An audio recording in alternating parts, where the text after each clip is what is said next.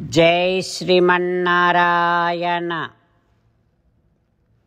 శ్రీమద్భగవద్గీత పదమూడవ అధ్యాయము క్షేత్ర క్షేత్రజ్ఞ విభాగయోగము ఐదవ శ్లోకము. మహాభూతాని అహంకారో బుద్ధి అవ్యక్తమేవ చ ఇంద్రియాణి దశైకంచ పంచచేంద్రియ గోచరా. ఓం. గీతాచార్యుడు శ్రీకృష్ణ పరమాత్మ అర్జునుడితో పాటు మనందరికీ క్షేత్ర క్షేత్రజ్ఞ విభాగ యోగాన్ని ఉపదేశం చేస్తూ ఉన్నాడు. పరమాత్మ ఈ రకంగా అంటూ ఉన్నాడు.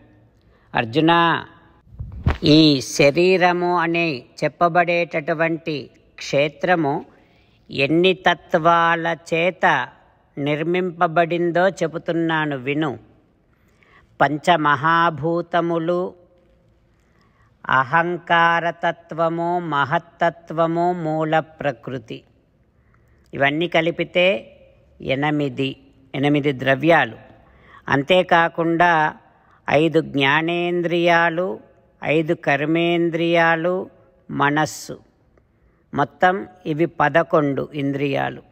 పదకొండు ఇంద్రియాలు ఎనిమిది తత్వాలు. ఇవి పంతొమ్మిది.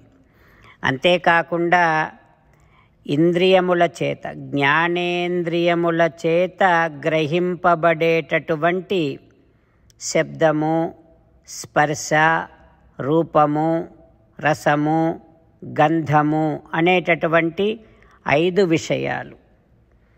మొత్తం ఇరవై నాలుగు తత్వముల చేత నిర్మింపబడినటువంటిది క్షేత్రము అంటూ శ్రీకృష్ణ భగవానుడు క్షేత్రము యొక్క స్వరూపాన్ని శరీరం యొక్క నిర్మాణ స్వరూపాన్ని తెలియచేస్తూ ఉన్నారు.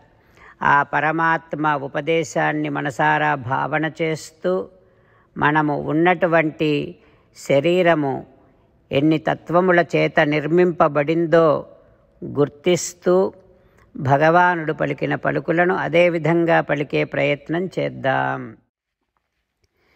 మహాభూతాన్యహంకారో బుద్ధిరవ్యక్తమేవ ఇంద్రియాణి దశైకంచ పంచచేంద్రియగోచరా. అంతేకాకుండా మనం ప్రతిరోజు శ్రీమన్నారాయణుడికి ఒక ఎనిమిది పనులు చేస్తాం అని మాట ఇద్దాం. ఎందుకంటే శ్రీకృష్ణ భగవానుడు పద్దెనిమిదవ అధ్యాయములో అరవై ఐదు నుండి డెబ్భైవ శ్లోకాల ద్వారా శ్రీమద్భగవద్గీత అంతటికీ సారభూతముగా మనకు ఎనిమిది పనులు చేయమని చెప్పాడు. అలా చేస్తే చాలు నేను మిమ్మల్ని అన్ని విధాలుగా రక్షిస్తా అని ప్రమాణపూర్వకముగా ప్రతిజ్ఞ కూడా చేశాడు. అందుకని శ్రీమద్భగవద్గీతను అంతటినీ విన్న తర్వాత అర్జునుడు కూడా చివరకు కరిష్యే వచనం తవ కృష్ణ నువ్వు చెప్పినట్టే చేస్తా అని అన్నాడు కనుకనే భగవానుడు అర్జునుడికి అన్ని విధాల విజయాన్ని అందించాడు. మనం కూడా ప్రతిరోజు శ్రీమన్నారాయణుడికి ఆ రకంగానే మాట ఇద్దాం. ఎనిమిది పనులు చేస్తాం అని మనము మాట ఇస్తే అది అష్టాక్షరీ మహామంత్ర జపము చేసినటువంటి ఫలితాన్ని మనకు ప్రతిరోజు ఇస్తుంది. ఇట్లా మాట ఇవ్వటం కంటే గొప్ప పూజ యజ్ఞము తపస్సు మరొక్కటి లేనే లేదు. అందుకని నేను అంటూ ఉంటాను మీరు మనస్సులో భావిస్తూ ఉండండి. ఈ రకంగా మనము మాట ఇస్తూ ఉంటే శ్రీకృష్ణ భగవానుడి ముఖారవిందములో కలిగేటటువంటి ఆనందాన్ని మనం ప్రతిరోజు దర్శిద్దాం ఆస్వాదిద్దాం. జై శ్రీమన్నారాయణ. హో శ్రీమన్నారాయణ నువ్వు చెయ్యమన్నట్టే నేను నిన్నే సంతతము ధ్యానము చేస్తూ ఉంటా. హో శ్రీమన్నారాయణ నువ్వు చెప్పినట్టే నేను నీ భక్తుడిగానే ఉంటా. హో శ్రీమన్నారాయణ నువ్వు చెయ్యమన్నట్టే నేను నా విధులను కర్తవ్యాలను నీ సేవగా నీ తృప్తి కోసమనే సక్రమంగా నిర్వర్తిస్తూ ఉంటా. హో శ్రీమన్నారాయణ నువ్వు చెప్పినట్టే నేను నీవాడిని అనే మహావిశ్వాసముతో నీకే నమస్కరిస్తూ ఉంటా. హో శ్రీమన్నారాయణ మామేకం శరణం వ్రజ నన్ను ఒక్కడిని మాత్రమే శరణు వేడుకో అని నువ్వే అన్నావు కనుక నేను నిన్ను ఒక్కడిని మాత్రమే శరణు వేడుకుంటా. ఓ శ్రీమన్నారాయణ మా శుచహ ఇక దుఃఖించకు అని నువ్వే నాకు భరోసా ఇస్తున్నావు కనుక నేను ఇక దుఃఖించనే దుఃఖించను. ఓ శ్రీమన్నారాయణ నువ్వు చెప్పినట్టే నువ్వు నా కోసమని అనుగ్రహించినటువంటి శ్రీమద్భగవద్గీతను ప్రతిరోజు కనీసము ఒక్క శ్లోకాన్నైనా జ్ఞాపకం చేసుకుంటూ శ్రీమద్భగవద్గీతను అనుసంధానము చేస్తూ ఉంటా. హో శ్రీమన్నారాయణ నువ్వు చెప్పినట్టే నువ్వందరి కోసమని చెప్పినటువంటి శ్రీమద్భగవద్గీతను తెలియని భక్తులందరికీ తెలియచేసే నా వంతు ప్రయత్నాన్ని నేను నిరంతరము కొనసాగిస్తూనే ఉంటా. హో శ్రీమన్నారాయణ నేను నువ్వు చెప్పినట్టే చేస్తా నీకు నచ్చినట్టే ప్రవర్తిస్తా నీకోసమే పని చేస్తూ ఉంటా. కరిష్యే వచనం తవ. ఇప్పుడు శ్రీమద్భాగవతాన్ని అనుసంధానం చేసుకుందాం. శ్రీమద్భాగవత గ్రంథానికి నమస్కారం. నిగమకల్పతరోర్గళితం ఫలం సుఖముఖాదమృతద్రవ సంయుతం పిబత భాగవతం రసమాలయం ముహురహో రసికా భువి శ్రీసుఖ యోగీంద్రుల వారికి నమస్కారం. యం ప్రవ్రజంతమనుపేతమపేతకృత్యం ద్వైపాయనో విరహకాతర ఆజుహావ పుత్రేతి తన్మయతయా తరవోభినేదుః. తం సర్వభూతహృదయం మునిమానతోస్మి నరనారాయణులకు చతుర్ముఖ బ్రహ్మకు సరస్వతీదేవికి వ్యాసమహర్షుల వారికి నమస్కారం. నారాయణం నమస్కృత్య నరం చైవ నరోత్తమం. దేవీం సరస్వతీం వ్యాసం తతో జయం ఉదీరయేత్ శ్రీమద్భాగవతము ఏడవ స్కంధములో సూతమహాముని సౌనకాది మహర్షులందరికీ ప్రవచనం చేస్తూ ఈ రకంగా చెబుతూ ఉన్నాడు. ఓ మహర్షులారా శ్రీసుక యోగీంద్రుల వారు పరీక్షిన్నరేంద్రుడికి శ్రీమద్భాగవతాన్ని ఉపదేశం చేస్తూ ఇలా చెబుతూ ఉన్నాడు. ఓ పరీక్షిన్నరేంద్ర నారద మహర్షి ధర్మరాజుకు ప్రహ్లాద వృత్తాంతాన్ని ఉపదేశం చేస్తూ ఇలా చెబుతూ ఉన్నాడు. ఓ ధర్మజ ప్రహ్లాదుడు శ్రీ నారసింహస్వామి వారితో ఈ రకంగా మాట్లాడుతూ ఉన్నాడు విన్నపం చేసుకుంటూ ఉన్నాడు. ఓ నారసింహస్వామి వరాలు ఇచ్చి నన్ను కోరికలలో పడవేయకు తండ్రి. ఈ సంసారానికంతటికి ఈ జనన మరణ చక్రానికంతటికి కోరికలే కదా బీజములు. వాటి వల్లనే ఈ ఆత్మ శరీరాలలో పడి తిరుగుతూ ఉంటుంది. ఓ నా ఆరాధ్య దైవమా నారసింహస్వామి! నేను మీ సేవకుడను. సేవకునికి మీ సేవ తప్ప వేరొకటి అవసరము లేదు కదా తండ్రి!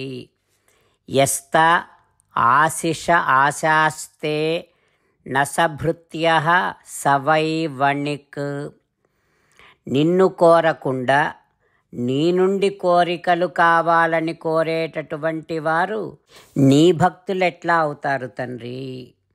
వర్తకులు అవుతారు అట్లాంటి వారంతా కూడా. వాణిజ్యం వ్యాపారం చేసిన వారు అవుతారు నీతో. హే భగవన్ కేవలము కోరికలను తీరుస్తూ తన సేవను చేయించుకునేటటువంటి వారు అట్లాంటి వారు కూడా నిజమైనటువంటి ఉత్తమ ప్రభువులు అనిపించుకోరు. హే భగవన్ అహంతు అకామహ నేను కామము లేనటువంటి భక్తుడను త్వద్భక్త. నిస్వార్థముగా నీ సేవను చేసుకోవాలి అని కోరుకునేటటువంటి సేవకుడిని తండ్రి త్వంచస్వామి నువ్వు నాకు నిత్యస్వామివి నిజమైన స్వామివి సహజమైనటువంటి స్వామివి. అందుకని నువ్వు నాకు వరాలివ్వటం అనేటటువంటిది తగదు. నువ్వు నాకు సహజమైనటువంటి స్వామివి కనుక నేను నీకు సహజమైనటువంటి సేవకుడిని కనుక మన మధ్య ఇక వర్తక సంబంధమే ఉండకూడదు తండ్రి. ఓ వరదా నారసింహస్వామి నీకు నాకు వరాలు ఇవ్వాలి అని అనిపిస్తే కనుక నా హృదయములో కామానాం హృది అసంరోహం భవతస్తు వృణే వరం. నీకు ఇంకా నాకు వరం ఇవ్వాలి అని అనిపిస్తే నా హృదయములో ఎటువంటి కోరికలు పుట్టకుండేటట్టుగా వరాన్ని అనుగ్రహించు. ఓ దేవా కోరికల వలన ధర్మము ధైర్యము సత్యము ప్రజ్ఞ జ్ఞాన సంపద తేజస్సు స్మృతి అన్నీ నశిస్తాయి కదా. ఏ కోరిక లేకుండా నిన్ను సేవించినటువంటి వాడే నిన్ను పొందగలడు. అంటూ ప్రహ్లాదుడు శ్రీ నారసింహస్వామి వారిని స్తోత్రం చేస్తూ ఉన్నాడు. ఆ తర్వాత ఏం జరుగుతుందో రేపు తెలుసుకుందాం. ఓం శ్రీకృష్ణ పరబ్రహ్మణే నమ. ఓం అస్మద్గురుభ్యో నమ. ముకుందమాల కృష్ణో రక్షతునో జగత్రయ గురు కృష్ణం నమస్యామ్యహం. కృష్ణేనామరశత్రవో వినిహతా. కృష్ణాయ తస్మై నమ.